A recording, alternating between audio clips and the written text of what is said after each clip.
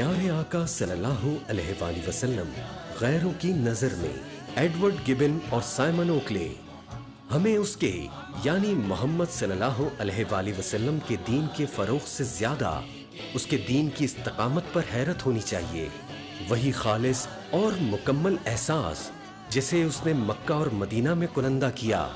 वही एहसास हमें चौदह सदियाँ गुजरने के बाद भी, कुरान के मानने वाले इंडियन, अफ्रीकी और तुर्कों में नज़र आता है।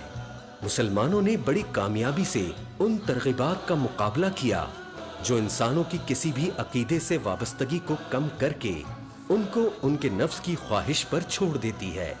मैं अल्लाह वाहिदुल्ला शरीक पर ईमान लाता हूँ और इस बात पर कि मोहम्मद अल्लाह के रसूल हैं। ये एक सादा और नकाबले तरमीम दीनी ऐलान है। यहाँ खुदा के मनतकी तस्वुर को बुतों के ज़रिए घटाया नहीं और न ही रसूल की अजमत को इंसानी हदों से बढ़ाया गया। उसकी, यानी मोहम्मद सल्लल्लाहु अलैहि वसल्लम की ज़िंदगी ने ऐसी मिसाल कायम की, जिसने उसके मानने वालों को मज़हब और माकूलियत की हदों में रखा।